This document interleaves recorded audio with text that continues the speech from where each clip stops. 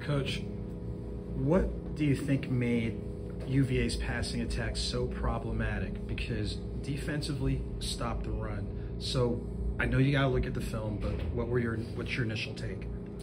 I mean, they, they've got a good quarterback. Uh, they got a veteran O line, and they've got some really good receivers. And you know, they, they got open on us, and, and they made plays.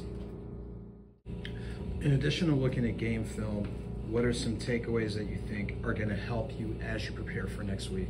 Yeah, I think it's you know know what you see on film, but uh, you, know, you know don't treat it like they're 100 percent.